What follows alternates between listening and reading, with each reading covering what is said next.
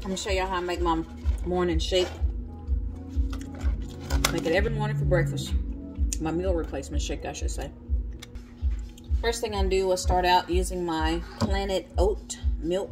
This is the only milk I use because it's free from all of those things. Dairy, peanuts, gluten, soy, lactose, um, all that stuff.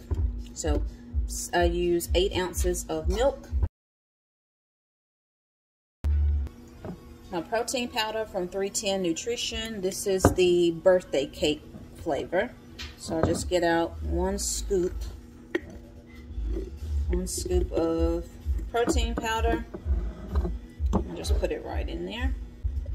I also do sometimes a, a full scoop, but I'm just going to do a half a scoop of the superfood mix, uh, also from 310 Nutrition. Uh, this is the apple banana.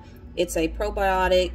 Uh, it's also great for um, your digestive system. So I'm just going to do a half of a scoop in there. Try to get a half of a scoop yeah, just do a little half a scoop. Put it right in there.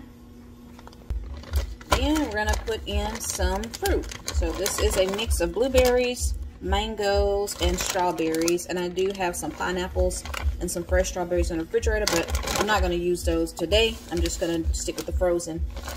So I just take out a nice little scoop. Scoop of fruit and put it right in. I'll do one more.